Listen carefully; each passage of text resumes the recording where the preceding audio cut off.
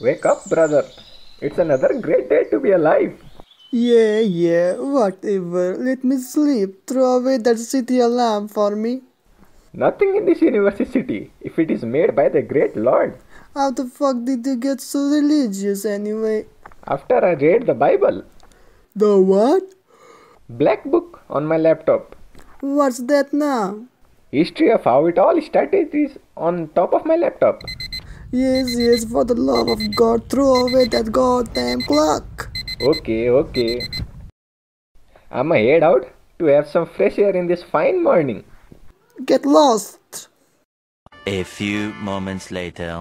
So my brother became religious from the Bible black on his laptop history. Hmm, interesting. Let's check that out. A few moments later. I can't unsee what I've just seen. That Arab little piece of shit gonna break the hell out of him. Hey you little piece of shit, come here.